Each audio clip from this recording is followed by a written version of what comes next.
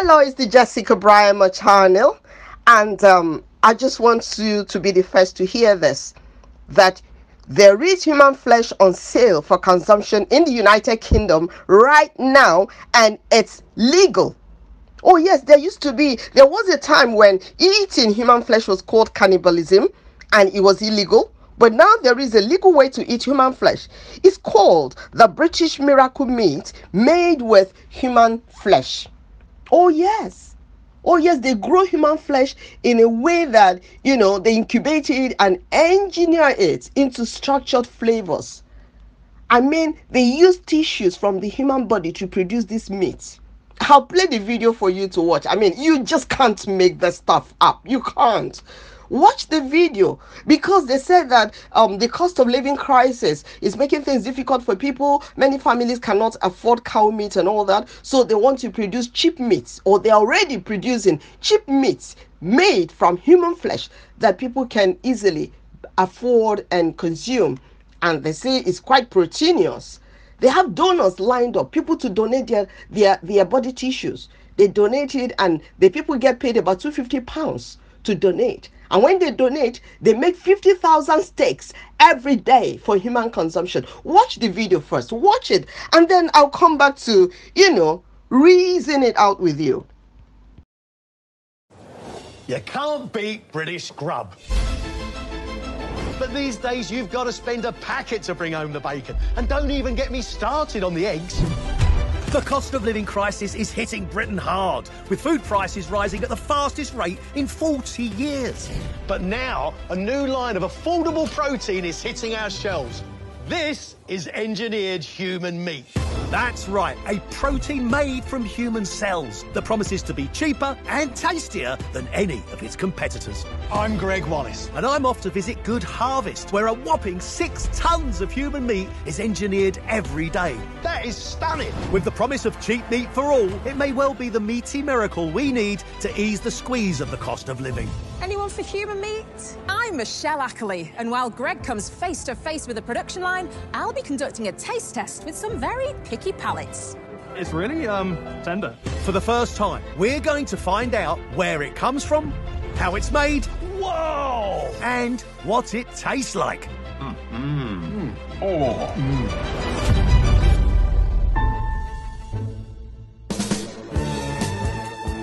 I'm up bright and early to check out the Good Harvest processing plant in Boston in Lincolnshire. But it wasn't the most scenic of drives. High fences, barbed wire, security lights. It's a bit like a prison. What next? Machine gun tower?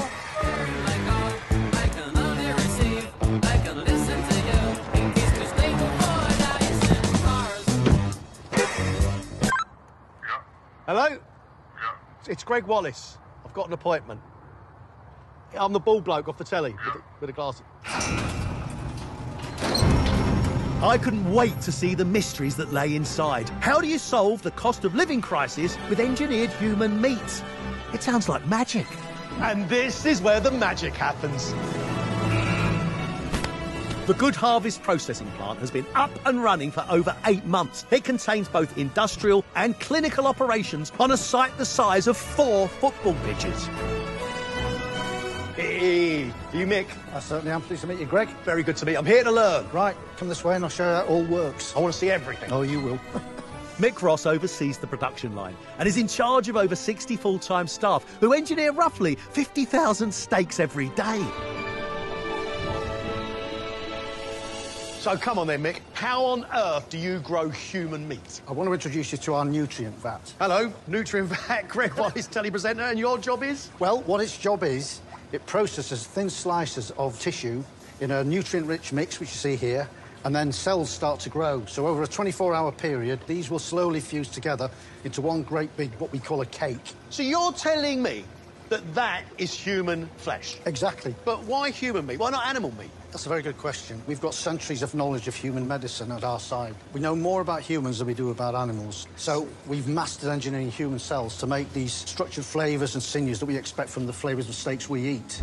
Good Harvest encourages people who need the income to sign up, select their own extraction site, and get paid within the week. You expect to be feeding the nation with this. You're going to need a lot of donors. Well, it's well in demand, and we've got a lot of people coming forwards because the other great thing about it is it's an opportunity to be paid. Would you ever consider donating yourself?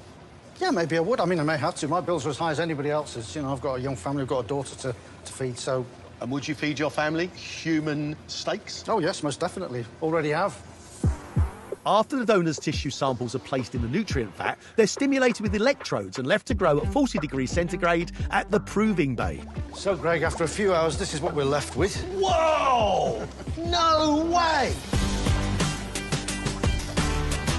Mate, that's the biggest chunk of meat I've ever seen. I mean, scientifically, that's amazing. But in terms of food, that is stunning. It is incredible, isn't it? That is stunning. Look at it. This 30 kilogram protein cake will be cut into nearly 100 steaks, and it's all been grown from the cells of just one person. maybe you'll give me a, a hand to lift it out. There we go. One, two, three, that's it. Whoa, whoa, crying out loud. We're going to take it over onto the oh, resting board. There we go. Wow. This must be a relatively new process. It is. I I mean, under EU law, we couldn't possibly operate machines like this due to legislation, but thankfully now we're out. We can harvest people and we can pay them for their flesh. So what happens to this now? Right, well, this will either be cut into steaks or it'll go off and be processed for sausages, burgers, you name it. You can do anything with it. Proper space age, isn't it? This It is, sir. meets me up, Scotty. I'd got to grips with the guts of human meat production, but I wanted to know how does this new protein compare to a real steak? It was time for that all important taste test. I knew just the chef for the job. I'm off to Le Gavroche, a two Michelin star restaurant in the exclusive London borough of Mayfair, to see top chef Michel Roux Jr.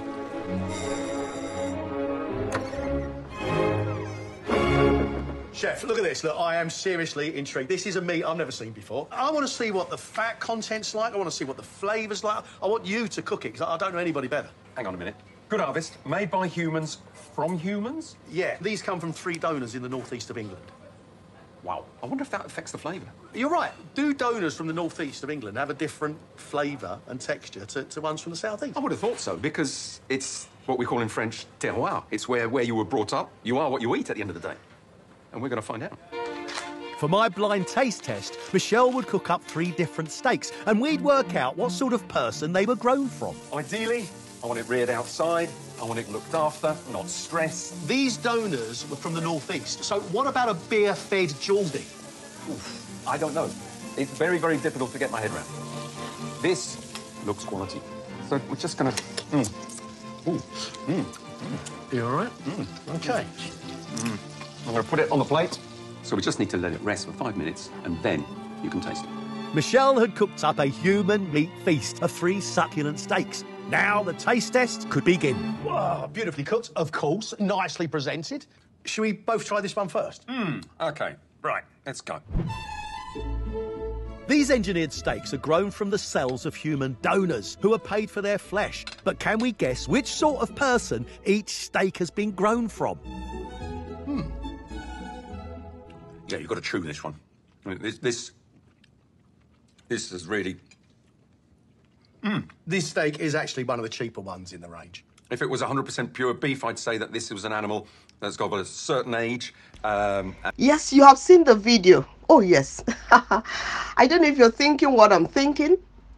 I don't know, as a child of God, as a Christian, if the Bible allows this because God specifically told us in the book of Leviticus the kind of meat we should eat cow meat. We're not even allowed to eat pigs or donkey. Donkey meat, pig meat, they're not allowed. When you read the book of Leviticus, it's clear there. So I don't know how we can now graduate to eating human flesh. Even God warned us not to drink blood or eat any anything with blood in it. He listed the kind of animals we're allowed to eat. We're not allowed to eat animals from humans. That's my thinking. What do you think? Can you tell me what you think in the comment section? And as you're doing that, please, if you haven't subscribed to my channel, kindly subscribe to the Jessica Braimah channel. Share this information. This information is very crucial. Please, this is not one of those videos you watch and you know just watch and watch and just I mean put it off and move on. No, this is a crucial information that everybody needs to know. That human meat, meat made from tissues from the human body, as in meat made from human flesh, available for consumption now in the United Kingdom, made in a factory at Boston, Lincolnshire. Lincolnshire is the United is in the United Kingdom. My brothers and sisters, I think I need to reason it out. I need to chew on this a little bit. I need to really think about it because I just finished watching the video and I'm I'm just confused really.